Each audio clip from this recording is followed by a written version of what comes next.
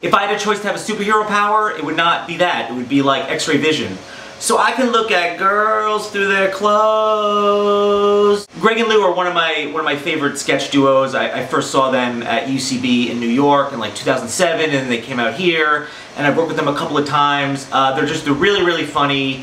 Uh, they uh, their videos are a little bit a little bit longer, a little more dramatic, uh, but it's worth it. The payoff is always worth worth it.